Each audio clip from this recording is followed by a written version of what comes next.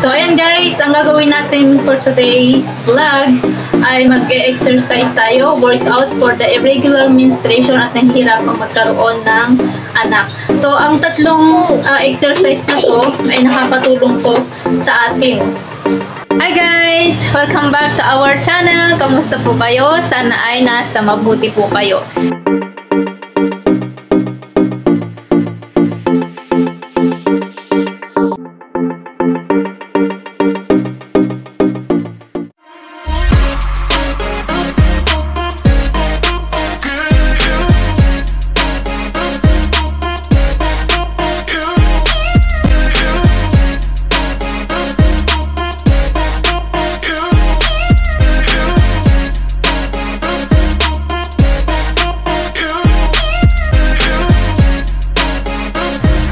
Nakapagod.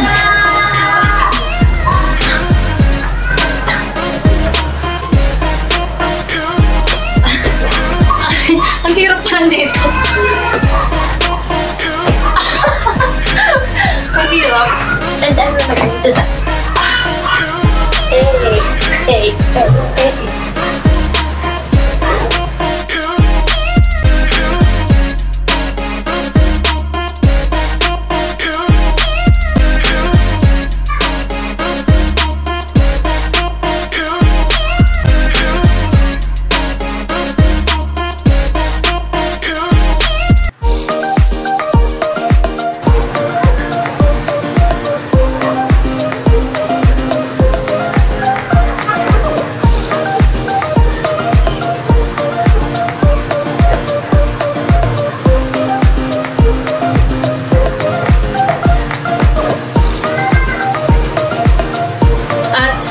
ito, no, hindi ko pinto ko sa inyo guys.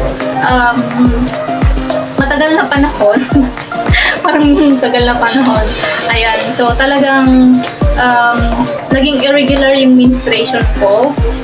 At, wait, baby. Ah, yun. Tapos, ah, pero nung ginawa ko yung exercise na to guys, naging normal, naging regular ang aking menstruation.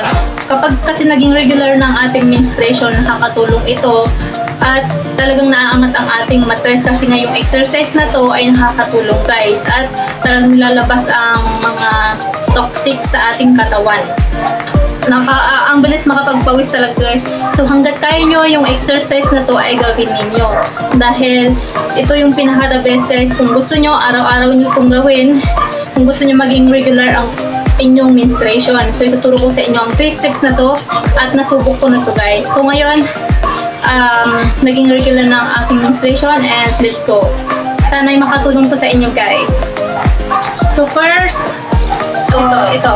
Yan.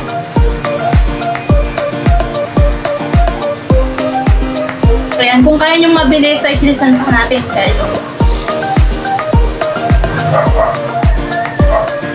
Ayan, pwede nyo ring side to side para mas ah, magkaroon ng shape. Ayan.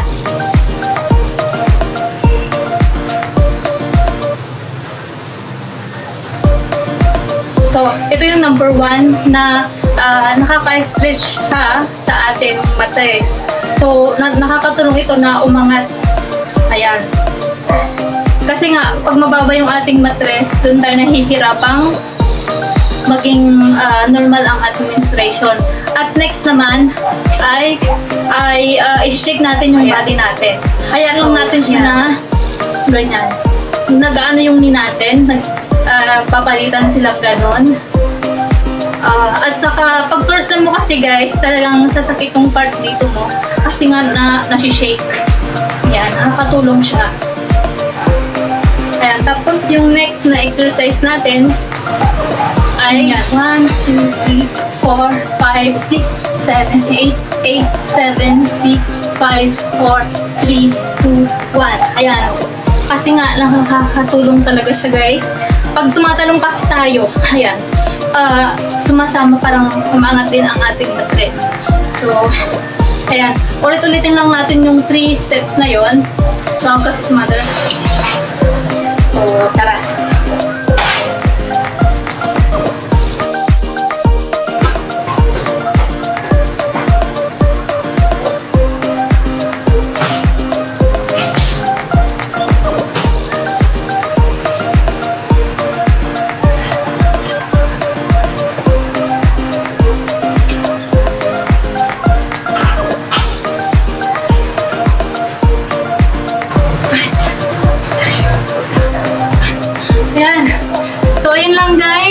Ating um, exercise na ginagawa ko at gusto kong i-share sa inyo ito guys dahil ito ay very effective na ways para maging regular ang inyong menstruation. So guys, yun lamang at sanay meron kayong natutunan dito sa video ito at consider subscribe to our channel down below.